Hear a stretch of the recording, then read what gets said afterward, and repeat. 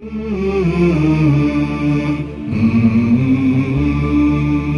السطور لطائف النفحات.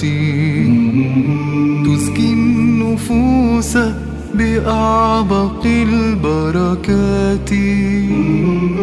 تحيا العقول إذا أنار طريقها.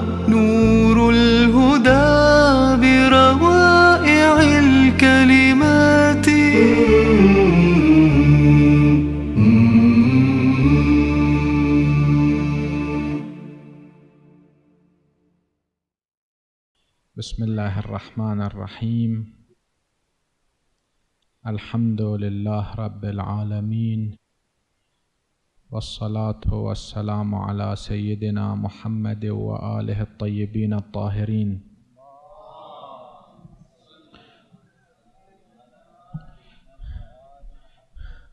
ولعنة الله على أعدائهم أجمعين إلى قيام يوم الدين. قال الله سبحانه وتعالى في كتابه الكريم وبدا لهم من الله ما لم يكونوا يحتسبون صدق الله العلي العظيم. من أهم مسائل التوحيد مسألة البداء. وفي الحديث الشريف عن الإمام الصادق عليه الصلاة والسلام ما عبد الله بشيء ما عبد الله بشيء كما عبد بالبداء. وقبل أن نتكلم في هذا الموضوع لا بأس بتقديم مقدمة مختصرة تتعلق بالقضاء والقدر. كلنا نعلم أن لله سبحانه وتعالى قضاء وقدرا. ولكن لعل الكثيرون لعل الكثيرين لا يعرفون معنى القضاء والقدر. فكل أمر وكل حادثة مجهولة لا تعرف أسبابها تنسب إلى القضاء والقدر. إذا شاب مات ولم تكتشف العلة في موته يقال قضاء وقدر. إذا حادث سير صار ولا نعرف العلة في ذلك نقول قضاء وقدر. لكن الأسباب المعروفة لدينا ننسبها إلى أسبابها. إذا واحد كان مبتلى بالداء الخبيث مثلا وعجز الأطباء عن علاجه ومات نقول مات بسبب الداء الخبيث مثلا. فالأسباب المعلومة لدينا ننسب مسبباتها إلى أسبابها لكن المسببات ال... التي أسبابها مجهولة ننسبها إلى القضاء والقدر. مع أنه كل ما يحدث في العالم منشأه أو من مناشئه القضاء والقدر. ومعنى القضاء والقدر معنى واضح لغة وشرعا لأن القضاء في اللغة هو الحكم قد يكون حكم تكويني وقد يكون حكم تشريعي. الله سبحانه وتعالى حكم حكما تشريعيا بعدم جواز عبادة غيره. الآية تقول وقضى ربك ألا تعبدوا إلا إياه. يعني شنو وقضى ربك؟ يعني حكم حكما تشريعيا بدون إجبار. يعني أمرك بأن لا تعبد إلا إياه. لكن إذا واحد أراد أن يخالف الله سبحانه وتعالى أعطاه الاختيار. يطبق هذا القرار والحكم التشريعي أو يخالف هذا الحكم التشريعي فيعبد الأرباب المتفرقين. الحاكم اللي يحكم في المحكمة يسموه قاضي. لماذا؟ لأنه يصدر حكم حكم تشريعي. وقد يكون حكم تكويني. لأن الحكم التشريعي معناه طلب شيء من فاعل مختار. هذا حكم تشريعي. الله حكم علينا بالصلاة والصوم والحج والجهاد وما إلى ذلك. هذا شنو؟ حكم تشريعي. يعني طلب منا أمرنا بالامتثال مع جعل الاختيار بأيدينا.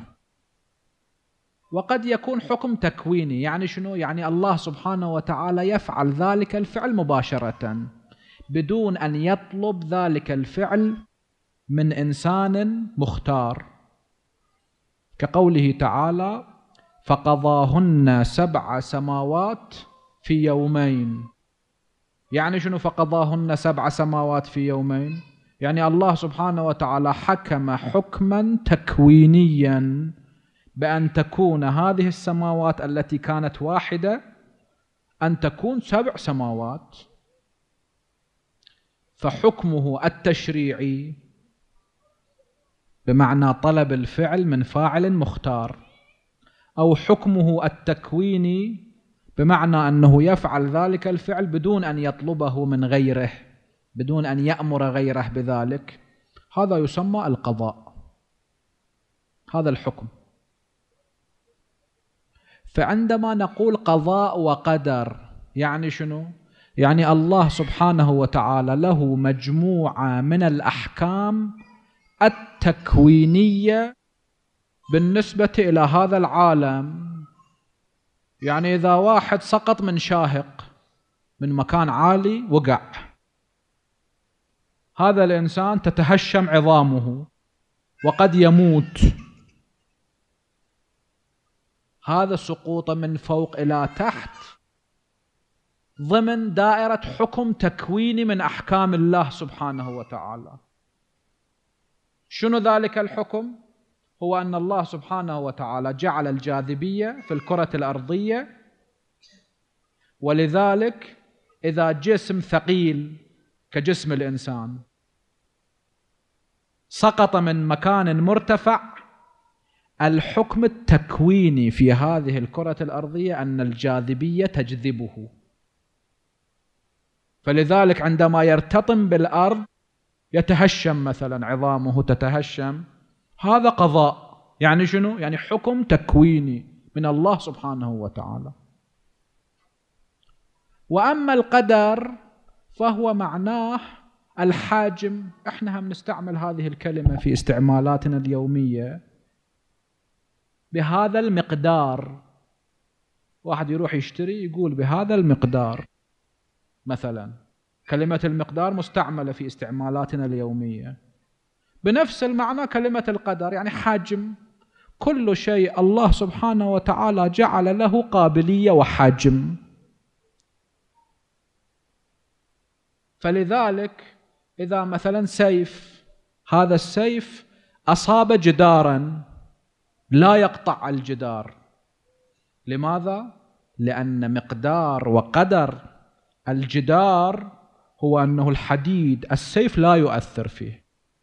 لكن إذا هذا السيف سقط على جسم إنسان اللحم والعظم قابليته ومقداره وحجمه هو أنه السيف يشقه. فالقدر معناه أنه كل شيء الله سبحانه وتعالى جعل له مقدار وقابلية وحجم. نمثل فد مثال بسيط.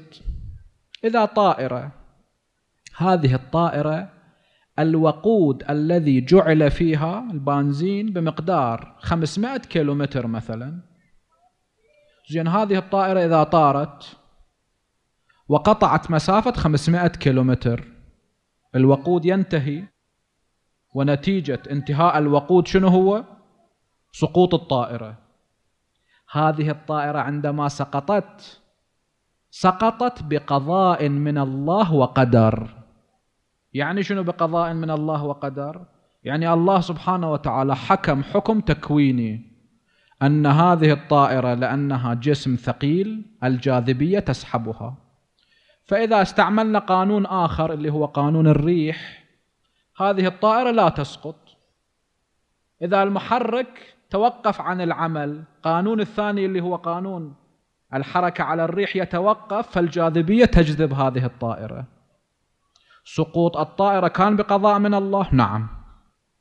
لأن الله هو الذي حكم حكما تكوينيا بالجاذبية.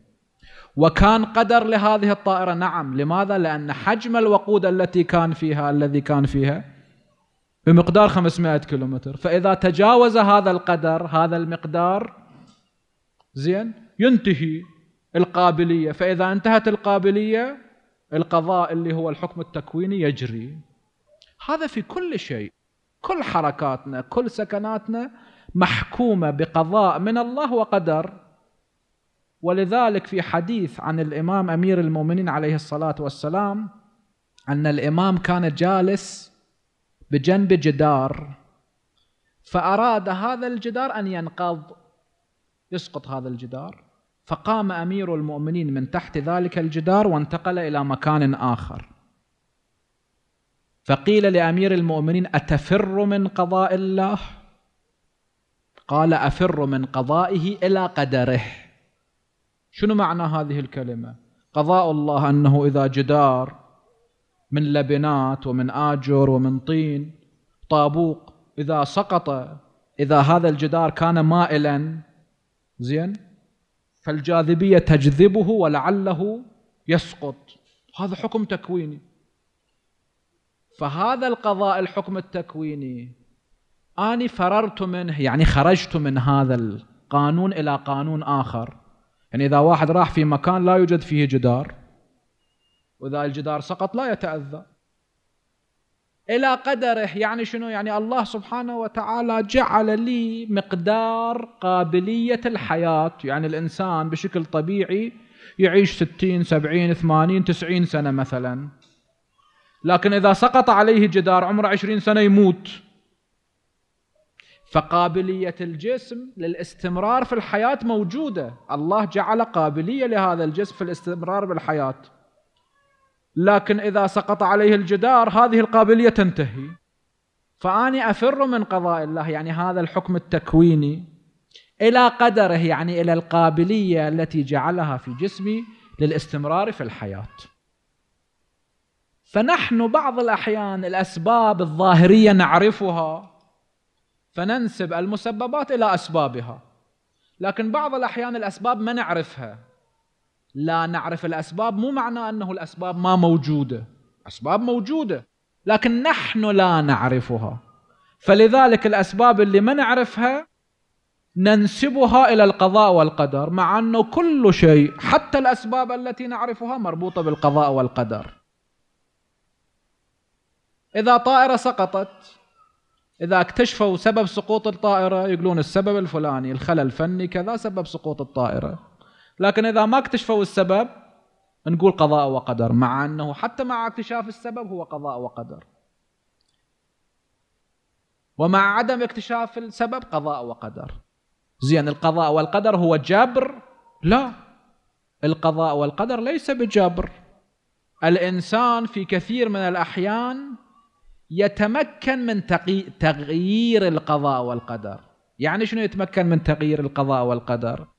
يعني الإنسان هناك حكم من الله سبحانه وتعالى حكم تكويني يخرج نفسه من تحت ذلك الحكم إلى حكم آخر. وذاك بمشيئة من الله سبحانه وتعالى. مثل قضية الجدار اللي أمير المؤمنين قام من تحت ذلك الجدار.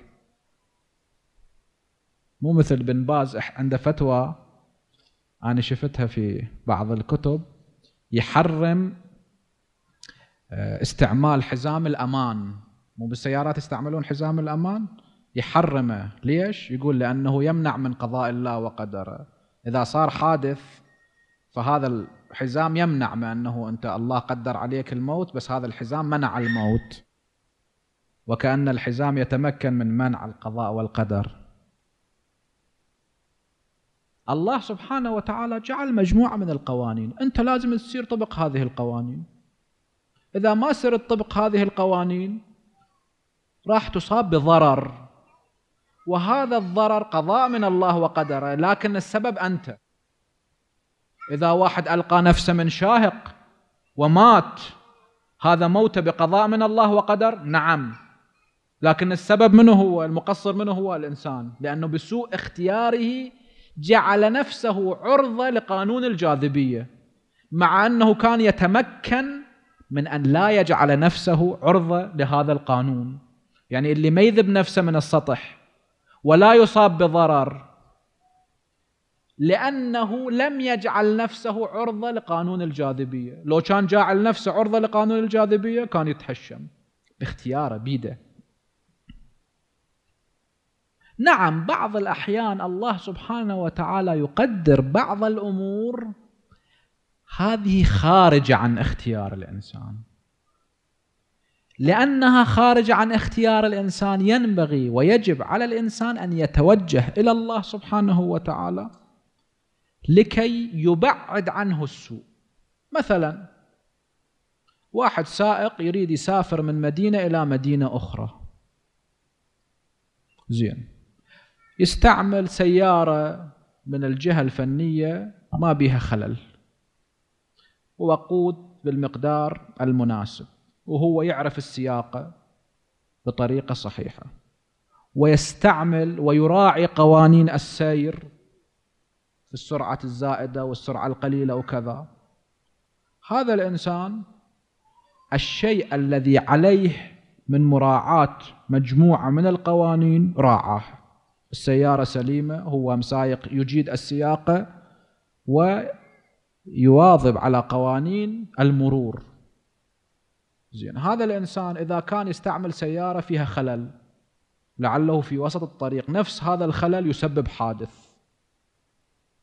لكن إذا استعمل السيارة الصحيحة السليمة ذلك الحادث ما راح يصيبه. فهذا الإنسان هل يضمن أنه فت سيارة من الأمام تأتي خاصة في الطرق الضيقة وسائق تلك السيارة لم يراعي القوانين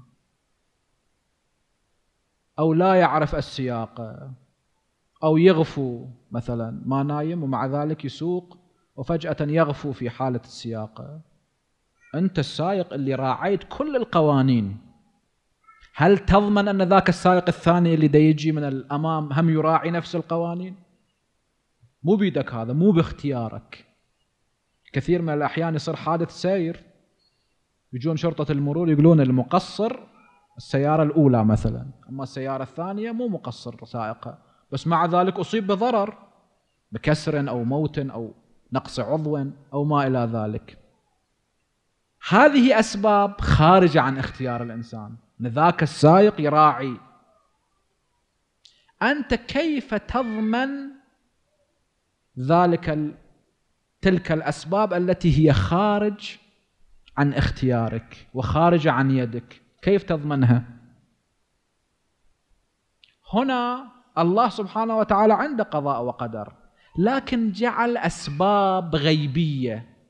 هذه الأسباب الغيبية تبعد عنك القضاء والقدر. الله من لطفه بين لنا هذه الأسباب الغيبية. هاي الأسباب الغيبية شنو هي؟ الدعاء الصدقة صلة الرحم التوسل وما إلى ذلك. التوكل على الله سبحانه وتعالى. كثير من الأحيان الإنسان بالدعاء يغير القضاء. يغير القدر. يعني مو هو يغير القدر الله سبحانه وتعالى من لطفه شاف هذا يدعو فيستجيب دعاءه ويغير القدر. تغيير القدر شنو هو؟ هو البداء. البداء يعني الله سبحانه وتعالى قدر لك الموت في هذا اليوم. لكن بالدعاء الله يغير القدر الذي قدره لك. بالصدقة الله سبحانه وتعالى يغير ذلك القدر. هو سبحانه وتعالى جعل هذه الأسباب. كما جعل أسباب تكوينية كذلك جعل أسباب غيبية. إذا إحنا نعلم أن الله سبحانه وتعالى لا يغير مقاديره لا يغير قضاءه لا يغير قدره. ندعو شنو فائدة الدعاء؟ إذا الله مقدر علي الموت دعوت أو لم أدعو راح أموت. دفعت صدقة أو ما دفعت صدقة راح أموت. وصلت الرحم أو لم أصله راح أموت. فليش الإنسان يدعو؟ ليش الإنسان يدفع صدقة؟ ليش الإنسان يفعل الأفعال الحسنة ويجتنب عن الأفعال السيئة؟ لولا تغيير القدر يعني الله يغير القدر ما كان معنى لا للدعاء ولا للصدقة ولا لصلة الرحم ولا إلى ما إلى ذلك. فما عبد الله بالشيء كالبداء يعني الله يغير تقديره. لو أنت دعوت لو أنت عبدت أنا أدري أن الله سبحانه وتعالى يستجيب الدعاء. أروح أدعو. عندي مريض أخشى. إذا أدري أن القدر لا يتغير ليش أروح أدعو؟ غالب الناس هكذا. لكن أعلم بأن الله قادر على تغيير ما قدره. أروح أدعو. أروح أتوسل. أدفع الصدقة أفعل المبرات أجتنب عن الأفعال السيئة التي هي تكون لها نتائج سيئة. في الحديث الشريف أن رسول الله صلى الله عليه وآله كان جالس مع أصحابه أو مع بعض من أصحابه فمر رجل حطاب يعني يروح للصحراء يحتطب فرسول الله صلى الله عليه وآله قال كلام ما معناه أن هذا الشخص مقدر أن تلدغه حية في هذا اليوم ويموت بلدغتها. وقت غروب الشمس أو بعد غروب الشمس أيضا الرسول صلى الله عليه وآله كان جالس مع أصحابه ولعله كان في المسجد فمر هذا الحطاب وعلى ظهره ما احتطبه فالأصحاب تعجبوا وقالوا يا رسول الله أنت قلت بأن هذا هذا اليوم مقدر أن تلدغه حية ويموت من لدغتها. فالرسول قال نادوه حتى نشوف شنو القضية. فعندما صاحوه نادوه جاء زين يريد يستريح لحظة يقعد فالحطب اللي على ظهره وضعه على الأرض. بمجرد أن وضع الحطب على الأرض خرجت حية سوداء من هذه الحطب اللي كان محتطبه فالرسول صلى الله عليه وآله قال ما معناه أن هذه الحية كان مقدر أن تلدغ هذا الشخص. بس مش ليش ما لدغته؟ نسأله. ماذا فعلت؟ قال أني كل يوم عندما أذهب للاحتطاب أجلب معي قرصي خبز قرصتين خبز. لأنه من الصبح إلى الليل أروح للاحتطاب. فكنت في بعض الطريق فرأيت فقيرا فتصدقت بأحد القرصين لهذا الفقير. فالرسول صلى الله عليه وآله قال أنه هذا كان مقدر أن تلدغه هذه الحية وأن يموت. لكن بهذه الصدقة الله سبحانه وتعالى غير التقدير. الله يغير التقدير لأن الله قادر.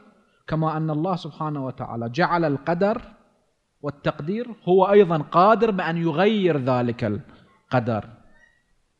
والبداء دليل على قدرة الله سبحانه وتعالى. الله صحيح قدر لكن بعد التقدير مو عاجز عن تغيير ذلك التقدير.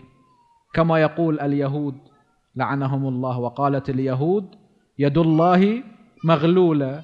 هكذا يزعمون بأن الله سبحانه وتعالى خلق العالم وجعل اليهود الشعب المختار والآن ما يقدر يغير من العالم شيئا. فالناس عندما يظلمون اليهود حسب زعمهم الله سبحانه وتعالى يجلس ويبكي عليهم ودموعه تسقط على البحر والبحر ير يرتطم وهذه السيول والأمواج وكذا هذه من دموع الراب هكذا يزعمون. وقالت اليهود يد الله مغلولة غلت أيديهم ولعنوا بما قالوا. نحن نقول لا الله قادر قدر الموت لهذا الإنسان وهو قادر على تغيير التقدير. لماذا قدر ويغير التقدير؟ هذا لصالح الناس حتى الناس يدعون حتى الناس يتصدقون حتى الناس يصلون الرحم. لأن الإنسان إذا وصل الرحم الله سبحانه وتعالى يضيف على عمره. وإذا قطع الرحم الله سبحانه وتعالى ينقص من عمره. الله قدر له العمر الأكثر لكن في نفس الوقت قادر على تنقيصه أو تزييده. لماذا يفعل هكذا؟ حتى إحنا نتوجه إلى الله سبحانه وتعالى.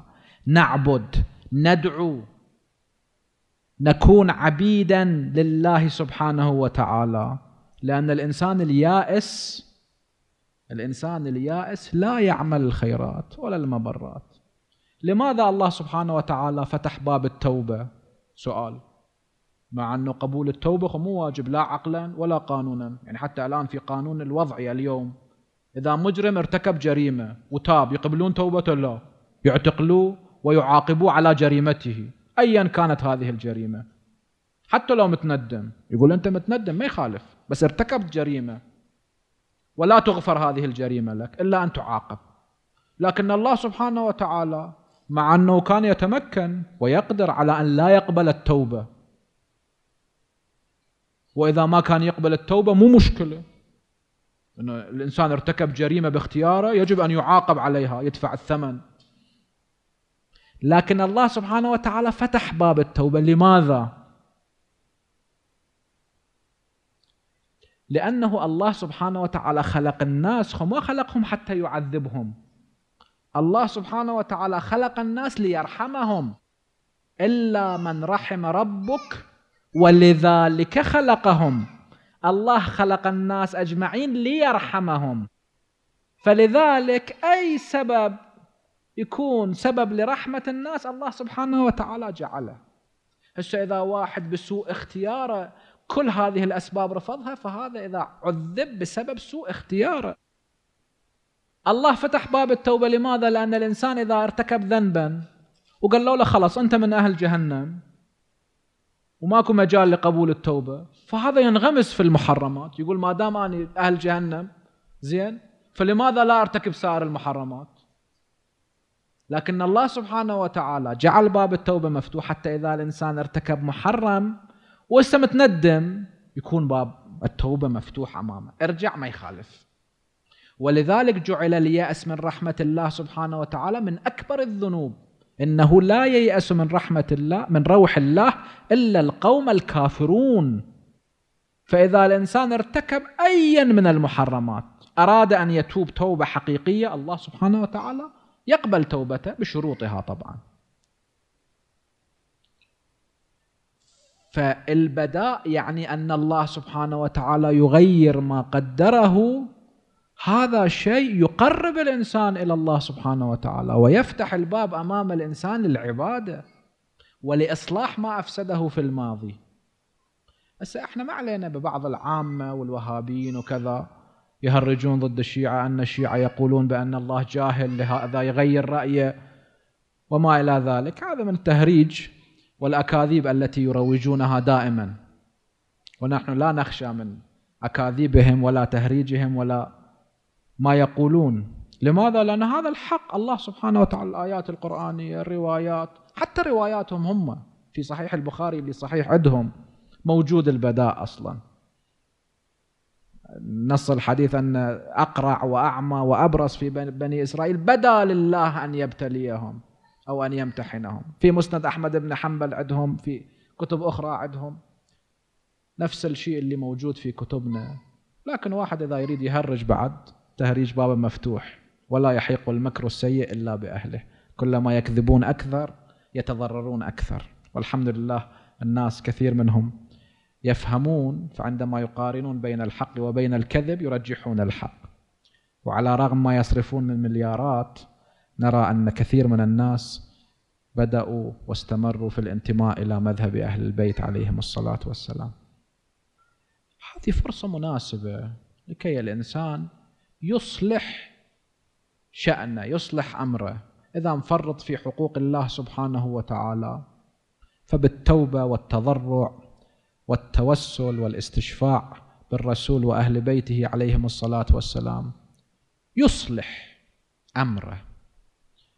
وإذا حقوق الله صلاة صوم حقوق المالية الواجبة يؤدي هذه الحقوق. وإذا حقوق الناس فيؤدي حقوق الناس لأن حقوق الناس هي حقين هم حق الله وهم حق الناس. يعني إذا واحد سرق فهذا تعدي على حق الله لأن الله حرم السرقة. فهو تعدي على حق الله. وسرقة أموال الناس تعدي على حق الناس. فحقوق الناس التعدي عليها تعدي على حق الله وحق الناس. أما إذا واحد ما صلى هذا فقط تعدي على حق الله سبحانه وتعالى. فحقوق الناس إذا في ذمته يؤديها حقوق الله في ذمته يؤديها. إذا عنده بعض الخلافات العائلية والاجتماعية يحاول أن يصلحها وإذا هو صالح يزيد من صلاحه لأن الصلاح درجات ويزيد من تزكية نفسه حتى الله سبحانه وتعالى أيضا ينظر إليه بعين رحيمة. إذا مقدر إلى تقدير سيء سيء إلى هذا الشخص يغير تقديره إلى الأحسن. وإذا الله سبحانه وتعالى ما يريد تغيير تقديره لأي سبب من الأسباب يزيد من ثوابه ويزيد من درجاته. فهذه فرصة مناسبة واحد يستفيد منها وخاصة الإنسان المسافر منقطع عن التزاماته الاجتماعية والعملية وما إلى ذلك فرصته أكثر. فهذه فرصة مناسبة لتزكية النفس. نسأل الله سبحانه وتعالى أن يوفقنا وإياكم لما فيه الخير والصلاح. هذا وآخر دعوانا أن الحمد لله رب العالمين. وصلى الله على محمد وآله الطيبين الطاهرين.